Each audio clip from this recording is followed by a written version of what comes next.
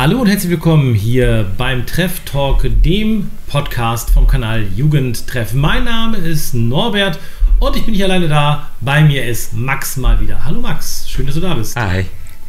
Also falls ihr es nicht ihr könnt es nicht sehen, aber ich habe gerade Norbert zugewunken, der sitzt bloß auf der anderen Tischseite. Also ich erkläre das Konzept vom Podcast nochmal ganz kurz. Ah. Man sieht uns nicht. Aber man muss ja währenddessen erklären, was wir tun, damit die Zuschauer ein visuelles Bild dazu bekommen. Ja, aber selbst, selbst auf äh, YouTube sieht man uns nicht. Da haben wir nur diese schöne Animation immer. Ne? Die ist auch immer ganz schick, ne? aber ist eigentlich zum Zuhören. Man ja. kann uns übrigens auch auf dieser hören und im RSS-Feed und auf YouTube kann man uns finden. Treff Talk, sehr gut. Und äh, heute geht es um das Thema Videospiele, wie immer, wenn Max dabei ist, wie fast immer. Was, wie fast immer, sagt er. Ist halt ein gutes Thema. Ich glaube, das ist fast mein Lieblingsthema. Ist ein bisschen dein Thema, ne? Ja, so ein bisschen, ja. Ja, die Frage ist, äh, sind Videospiele schlecht? Oder wie ist die Frage heute? Mm. Die, die, die, wie ist das Thema? Also, also, bei der Frage bist du schon mal ganz falsch bei mir. Ich finde Videospiele super. also es gibt natürlich okay, das ein danke. oder andere, aber. Äh, das war's mit dem Podcast. Das jo, ciao. geklärt. Bis zum nächsten Mal. Nein, zum Beispiel. Weil wie ist das mit äh, Videospielen? Machen die zum Beispiel aggressiv? Äh, machen die. Äh, ja, ne, die alte Killerspieldebatte. Äh, da Kommt wir auf. Da, genau. Da, die, ehrlich gesagt, die war ja schon, die ist ja schon uralt, da habe ich mich in deinem Alter schon mit rumgeschlagen, auch mit den Vorurteilen. Das ist total Banane, ne? Ja. Ja. Ähm, aber gut, da können wir gleich nochmal drüber reden. Ja, wir haben gerade über, du hast gerade darüber geredet, du hast eine Arbeit darüber geschrieben oder eine Hausarbeit? Achso, ja, äh, in, das ist, war sogar, äh, ja doch, Arbeit trifft äh, ganz gut, das war so ein alternativer äh, Leistungsnachweis, weil meine Deutschlehrerin ist eigentlich schon irgendwie eine ganz, ganz coole Sie hat uns zur Wahl gestellt, entweder schreiben wir halt eine ganz normale Klausur zum Thema Kommunikation, äh, ne, Argumentation war das, oder wir machen halt diesen alternativen Leistungsnachweis, was ja. sich dann gebildet hat äh, durch so Legefilm, ja. den wir dann auf Simple Show machen konnten. Ich weiß nicht, ob die Website dir was sagt. Ja, okay, sag mir was, ja. Äh, war, eigentlich, war eigentlich ganz cool und das Thema, was ich dann gemacht habe, war, ob Videospiele schädlich für einen sind und ob die sich dann auf Gehirnleistungen auswirken. Ah, und dann solltest du da argumentieren, einfach so aus deiner Erfahrung, oder äh, hast du das auch ähm, mit Recherche äh, unterfüttert? Ja, ganz genau. Ich habe das auch mit Recherche unterfüttert. Das sollte aufgebaut sein wie ein Leserbrief, weil das dann das aktuelle Thema war. Wie ein Leserbrief aufgebaut ist, äh, wissen die meisten wahrscheinlich. Ansonsten kommt das bald in, in deutschem Unterricht. Aber da habe ich, mich dann wirklich vor meinen PC gesetzt, habe dann schön recherchiert, bin ich dann auf äh, einen Artikel vom MDR gekommen, ist aber auch schon äh, was habe ich gesagt, 2017, ja. 2015 irgendwo dazwischen äh, kam der Bericht her. Ja, die Debatte ist ja alt, habe ich ja gesagt. Ne? ähm, und dann hast du äh, sozusagen immer so Pros und Kontras gesammelt oder wie kann ich mir das vorstellen? Ja, ganz genau. Pros und Kontras gesammelt und dann untereinander weggeschrieben. Wichtig ist bei meiner Argumentation erst den Punkt nehmen, den du nicht vertrittst und dann de deinen Standpunkt äh, nehmen. Also wenn du dafür bist, dann musst du erst die äh, ne Kontra-Argumente ja. aufschreiben und dann die Pro-Argumente. Also ja, ich bin dafür. man auch mit, mit seinen Pro-Argumenten ja auch oft die anderen Argumente dann äh, ausstechen kann. Und, ja, ganz genau, noch ein bisschen, kann, bisschen unterbuttern. Ja. ja, und ich nehme an, dass du als Freund des Videospiels, äh, dass deine Hypothese ist, nein, sie schädigen nicht oder wie, auf welches, welchem Ergebnis bist du gekommen? Hm, tatsächlich bin ich da äh, auf kein richtiges Ergebnis getroffen, weil da ist halt der Punkt, dass äh, es von Mensch zu Mensch unterschiedlich ist, finde ich. Manche verkraften das, besser, manche eher weniger. Ich zum Beispiel, wenn ich mich jetzt drei Stunden lang vor die Konsole setze, kann ich dann trotzdem noch äh, nach draußen gehen und normales Leben führen. Aber ich hatte mal einen Kollegen, der, der hatte leicht einen Knick in der Birne und konnte. Der hat sich dann da so verloren drin und kam noch nicht mehr raus. Ja, der konnte dann Videospiel von Realität nicht mehr ganz unterscheiden. Ja, gut, war. Aber, aber mach doch jetzt. Bist du schon mal irgendwo. Du, du, hast ein Spiel gespielt, wo man irgendwie Knarren braucht und du bist irgendwo lang gegangen und hast eine Knarre gesehen irgendwo und hast gedacht, oh, die könnte ich jetzt gebrauchen. Ach nee, das war ja ein Videospiel. Also ob, ob ich jetzt wie, ja, so, so, oder oder was ich nicht oder du hast Tetris gespielt, bist irgendwo hingegangen und hast überall nur geometrische Formen gesehen. Ist dir das schon passiert? Nee, also Tag dran tue ich nicht. also in den Ausmaßen nicht. Ja. Aber bei Tetris ist mir das nämlich schon mal passiert, dass ich dann, äh, weiß ich nicht, dann, da habe ich dann in, äh, in einer Stadt gewohnt und die, da sind die Häuser ja mit Lücken und ne, das Ja. dann, und dann, dann sieht man pra praktisch, wenn man wirklich zu viel zockt, dann sieht man wirklich, äh, da ist eine Lücke für dieses und jenes Element bei Tetris. Wo, wo ich, wie ich mir das Völlig grad- krank. Wie ich mir das gerade vorstelle. So, Norbert macht gerade Urlaub in Amerika.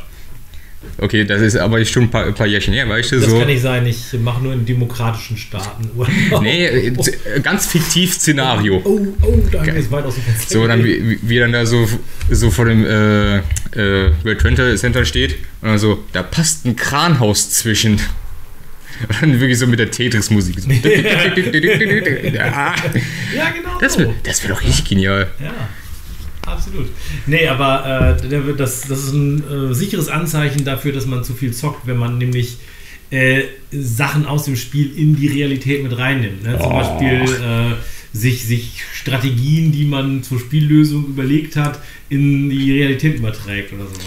Ne? Ja, Das ist spannend. Kriegsführung. Aber, ja, genau. Aber äh, die Frage ist ja, ob das einfach nur ein Nebeneffekt von mal zu viel Zocken ist.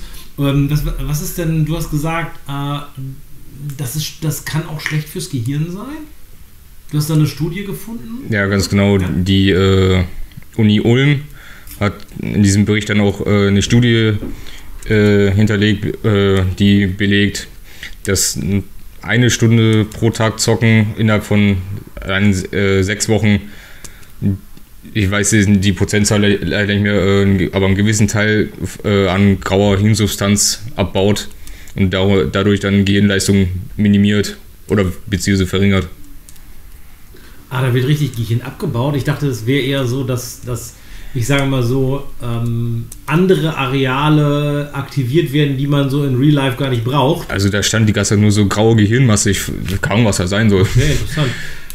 Da, da müsste man, ja, das ist ja, das ist ja richtige äh, hier. Warte mal, ich, ich guck mal eben, ob ich den Ja, Bericht guck das noch mal nach. Ich erzähle dir so lange noch von einer Studie, äh, mit der ich mich mal beschäftigt habe. Ja, beschäftige Und zwar, ähm, also ich glaube, die Debatte, die geführt wird über Videospiele, die äh, verengt sich ja oft so auf das Thema brutale Spiele, Killerspiele und so. Und ob die schädlich sind.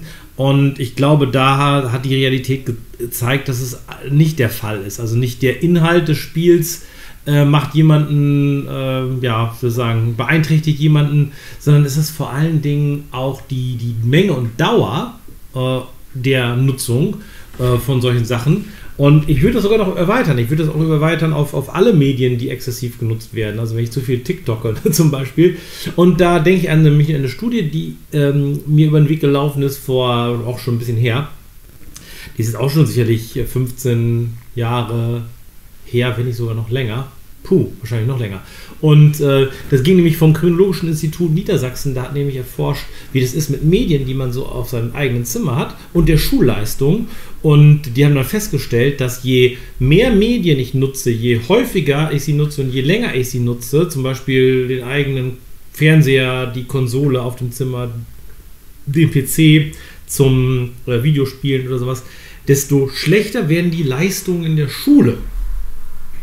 Und äh, ja, die, die Hypothese, die dahinter steckt, ist, dass ähm, alle diese Spiele, die funktionieren ja danach, dass man immer so kleine Belohnungen hat. So, so ein, ja, so ein, so ein Bling-Bling. Also das hast du auch beim, beim TikToken ne? oder beim, äh, beim ja, Wischen bei den YouTube-Shorts oder so. Oder auch bei den ganzen Handy-Games. Es gibt immer wieder kleine Erfolge und die lösen natürlich im Gehirn dieses Belohnungszentrum aus. Das macht Pling und äh, das ja, verfestigt sich dann im Gehirn. Und dann stellt euch mal vor, ähm, oder stell dir mal vor, äh, du lernst gerade Mathe, das ist schwer, das ist anstrengend und bis du da das Belohnungssystem im Gehirn äh, angesprochen hast, da braucht es eine Zeit, da braucht es Anstrengung, bis du was verstanden hast und dann bildet sich da gerade irgendwas und dann spielst du eine Stunde irgendwie, was ich nicht, äh, was ist gerade auf dem Handy, tolles Spiel zum, zum Runterballern irgendwie. Boah, auf dem Handy, also wer, wer auf dem Handy zockt und sich dann als Gamer bezeichnet, der gehört in die Tonne. Aber Sag, sag mal ein doofes Handyspiel, schnell. äh, Äh, äh, Call- Dual Callmaster. Jump. Was? Dual Jump. Coinmaster gibt es gar nicht mehr. Äh, Genau, auf jeden Fall, du, das spielst du dann und dann, macht, dann bügelst du im Prinzip das Gelernte damit gleich wieder über. Also, äh, wenn, wenn ihr merkt, eure Leistungen in der Schule gehen runter, dringende Empfehlung, schmeißt Fernseher und Konsole aus eurem Zimmer raus und seht zu, dass ihr äh, eure Zeiten äh, ein bisschen reduziert. Es ist völlig egal, was ihr spielt, ne? es geht einfach darum, um die Menge. Ne? Und ähm, das, ist, das ist eher das Problem. Das heißt nicht, dass man nicht mal irgendwie Binge zocken kann, sag jetzt mal. Ne? Ich glaube nicht, dass das ein. Binge zocken ist ja wie Binge gucken, ne? Binge-Watching. Habe ich jetzt mal gerade so übertragen. Habe ich das gerade erfunden? Also bitte zitiert mich, wenn ihr das verwenden wollt. Binge zocken habe ich gerade erfunden. Alles klar. Ja, aber ihr versteht, was ich meine. Man versteht doch sofort, was ich meine. Wie Spock-Ohren. Weiß man sofort, was für Ohren. Ja. Ja, gut. Ähm, ja, aber das ist so, so das äh, Ding, was so ich über Videospiele und ihre, ihre Schädlichkeit beitragen kann. Was denkst du denn? Was, was spricht dir dafür, dass ähm, Videospiele schädlich sein könnten? Was dafür spricht, dass Videospiele schädlich sein könnten. Ja. Also ich habe jetzt die äh, Studie wiedergefunden. Ja. Ich lese mal einen kleinen Satz daraus vor. Der Bericht ist von 2017 vom, ja, wie vom MDR. Äh, eine aktuelle Studie der Uni Ulm scheint den Kritikern jetzt recht zu geben. Sie fand heraus, wer täglich eine Stunde Online-Computerspiele mit Online-Computerspielen verbringt, verliert an Hirnvolumen. Und das nur nach sechs Wochen. Die Studie zeigt außerdem, dass das Spielen negativ auf den Umgang mit Emotionen und auf die Entscheidungsfindung auswirken kann. Mhm. Interessant. Ich brauche mehr Informationen dazu. Das, das, das kann ich jetzt so abschließend noch nicht so stehen lassen. Vor allen Dingen ist es eine Studie, ne? So wird das Ja. ja, ja. Genau, da muss, da muss noch ein bisschen. Äh, die grauen Gehirnzellen werden weniger. Schuld daran ist laut der Studie die Abnahme der grauen Substanz im orbitofrontalen Kortex. Ja, danke schön. wie, Gute Gesundheit. Kommt das, wie kommt das zustande? Dass das? Ähm, Das ist jetzt ja die entscheidende spannende Frage. Ne? Wieso verlieren wir an Gehirnmasse, wenn wir viel zocken? Und ich meine, wenn wir was anderes viel tun, ich meine, und gilt das für jedes Videospiel? Ne? Also es gibt ja auch intellektuell anspruchsvolle Videospiele, wie Minecraft zum Beispiel. Und kein Widerspruch. Also ich persönlich empfinde das als intellektuell anspruchsvoll. Ne? Also ich glaube ja auch, dass das aufs Spiel ankommt. Ne? Also was ist, wenn ich ein Spiel spiele, wo ich bei rechnen muss? Ne? Ähm, ist das da auch so? Äh, das ist mir schon sehr verallgemeinern. Ne? Welche Spiele haben die gespielt? Äh, ich, glaub, ich glaube einfach, das ist ein typischer Fall von missverstandener Studie in, der- in der Presse, oder? äh, gute Frage. Ich, ich lese also, hier gerade Das ist schon den. arg, arg verkürzt. Also die Informationen, die du da aus der Zeitung äh, holst, also das ist schon sehr verkürzt. Ja, aber du hast ja noch andere Argumente in deiner Arbeit gehabt, sicherlich, oder? Ja, dann- mehr, was dafür spricht, dass die Gehirn, das Gehirn schlecht auf Videospiele zu sprechen ist? Ich, ich kann jetzt positive Aspekte vorlesen. nö, nö, ich will, dass wir erstmal hier nochmal ein bisschen äh, Spiele-Bashing betreiben. Will ich nie. Ich bin Team Ja, Pro. ich, das weiß ich. Ja, ich weiß, du bist Team Pro, aber ich bin äh, des Teufels Advokat hier. Ist nicht des Teufels Avocado. Oh, schade. Ja. Den mag ich eh nicht.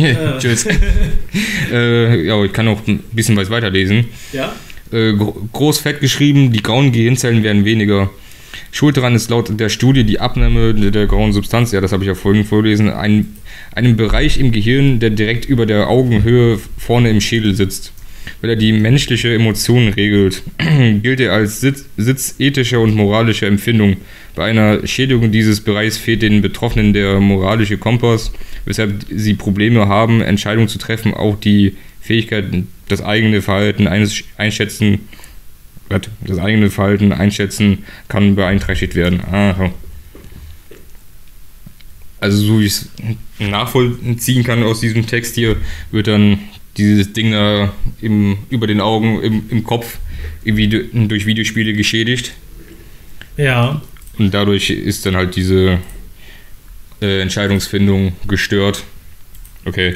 Ja, komischerweise Äh, sehr lese kompliziert. Ich, lese ich auf einer anderen Seite, dass Forscher vom Max-Planck-Institut nachgewiesen haben in der Studie, dass Computerspielen gut fürs Gehirn sind und dass Spielen, tägliches Spielen, eine Gehirnregion intensiv trainiert und alle Areale vergrößern kann. Siehste? Ja, also da, da müssen wir, also da siehst du, guck mal, äh, äh, Wissenschaft ist zwar gut, aber in der Kommunikation muss man genau wissen, was die untersucht haben. Ne? Wenn die jetzt irgendeinen klar. Schmarren spielen, wenn die zum Beispiel, was ich nicht, ähm, ähm, Handy-Daddel-Scheiß Scheiß untersucht haben. Ne?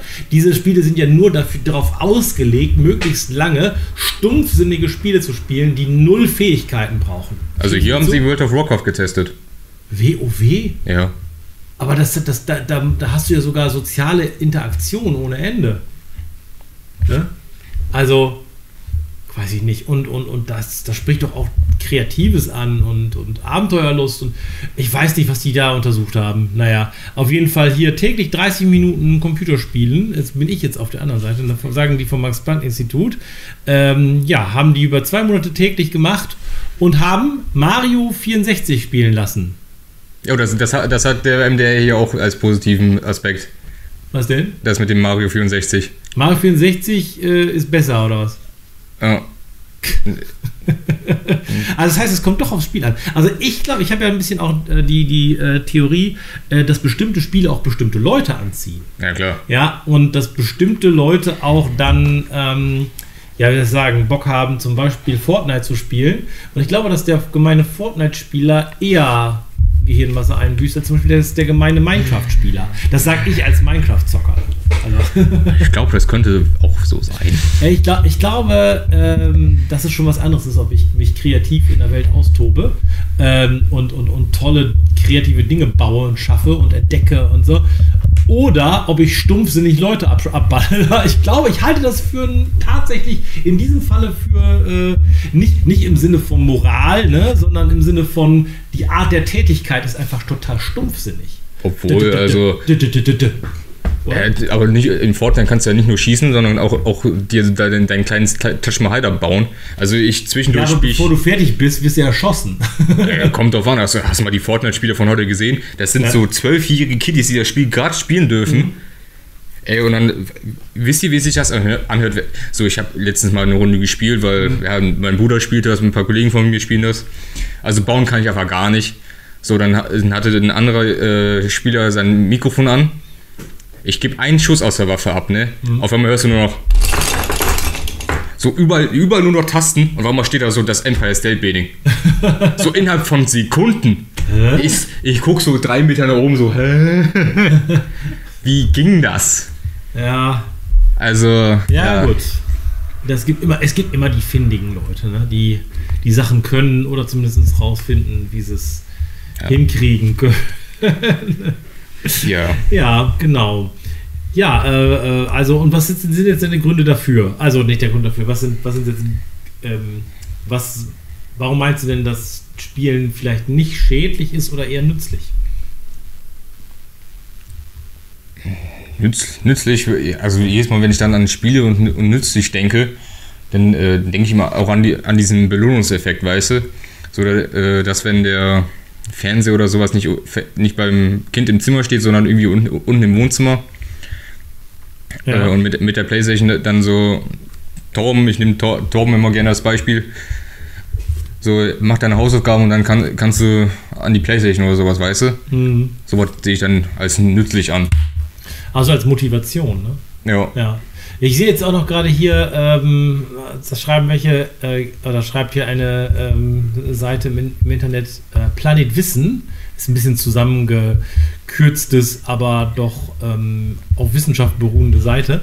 Und zwar Schaden Computerspiele der Sehkraft. Äh, Ergebnis: Menschen, die 5 bis 15 Stunden pro Woche mit Actionspielen verbringen, haben eine bessere Sehfähigkeit. Klares Nein, oder? Also oder stören Computerspiele die Konzentrationsfähigkeit? Da wurde etwas untersucht, äh, wie gut die äh, Versuchsteilnehmer äh, kognitive Widersprüche auflösen konnten und bewegten Objekten folgen können und Gamer schnitten besser ab. Und da habe ich gerade dran gedacht, ähm, dass äh, ich habe mal gesehen damals äh, hier äh, LeFloid und sein Kumpel irgendwie, die waren mal äh, an so einem Waffenstand und haben mit irgendwie so Militärwaffen geschossen. Okay. Und die kannten diese Waffen nur aus Videospielen. Ja. Aber dadurch, dass sie das trainiert waren im Videospiel, mhm. konnten die das in Real Life umsetzen. Und der Typ, äh, der die da trainiert hat, hat gesagt, ihr habt da tatsächlich noch nicht mit denen geschossen. Nee, nee. Ne? Ja. Der sei doch nicht schlecht. Also, ne? Das macht ihr gut. Ne? Und ja. die konnten sozusagen diese Fähigkeiten einfach übertragen dann. Ne? Und das finde ich zum Beispiel Also ich, ich glaube bei so Shooter-Games, ich glaube, das ist dann ganz gut, aber äh, ich weiß gar nicht, das ist auch schon eine Studie, die ist auch schon Jahre alt. Aber im Durchschnitt schließen äh, äh, Fahrschüler, die viel, viele äh, Rennspiele gespielt haben, schlechter ab als die, die keine gespielt haben. Mhm.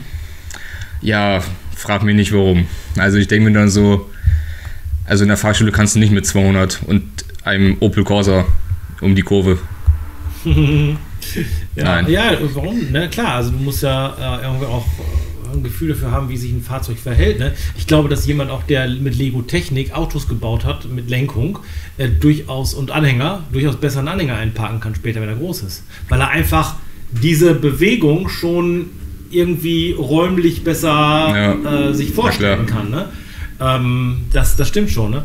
Dann äh, habe ich jetzt dann habe ich jetzt schon noch was gesehen. Hat was gepiepst bei dir? Bei mir nicht. Komisch. Also, äh, dann hat auf jeden Fall eine, Studie in Australien gezeigt, dass Computerspiele bessere Noten in Mathematik und Naturwissenschaften hatten. Das ist auch nicht schlecht, ne? Das ist auch cool, oder? Äh, oder, ähm, was haben wir dann? Äh, das, das zeigt alle wohl, dass es wohl eigentlich wo keinen Schaden gibt, ne? Also zumindest ist die, die Gemengelage sehr durchwachsen. Ich, würd, ich würde sagen, äh, für mich persönlich ist es einfach, ähm, wenn ich natürlich mein Lernen, mein Lernen, meine Lernerfolge in, in der Schule überbügel mit exzessiven Videospielen, dann muss ich mich nicht wundern, wenn meine Leistungen schlechter werden. Ja? Aber ähm, grundsätzlich macht Videospielen nicht dümmer. Es ist, glaube ich, wie Fernsehen. Ne? Die Dummen werden dümmer und die Klugen werden klüger. Ja gut, je nachdem, wie man es dann darauf anlegt. Ne? ja, so, wie, wie ist es denn dein Fazit zum Thema? Lässt das Videospielen jetzt sein, nachdem du die Gefahren für deine graue Hirnsubstanz hast, hören müssen? Da waren Ge Gefahren, also da wo nichts ist, da kann auch nichts verloren gehen. Also. so ja. viel Selbstkritik heute, ja. Sagst du, wir sind dann schon wieder am Ende? Wir sind schon wieder am Ende, genau. Ja. Das erkennst du, wenn ich die Ohrstöpsel rausnehme. Ja, ich habe gerade schon die, die Absperrmusik gehört. Deswegen, ja, na gut. Äh, die hat mich gewarnt, ja. ja habe ich dann wieder das letzte Wort? Du hast das letzte Wort. Ja, was sage ich denn jetzt? Also, ja, wer sucht, der findet, wer drauf ist, verschwindet. Haut rein, Leute, bis zum nächsten Mal. Und wenn ihr auch mal mit mir sprechen wollt, kommt, sprecht uns an. Äh, Kontaktdaten sind in der Beschreibung oder kommt in unseren Jugendtreffs in Bad Essen, in Bumte oder in Bad La vorbei und vereinbart einfach einen Termin. Macht's gut, bis dann und ciao.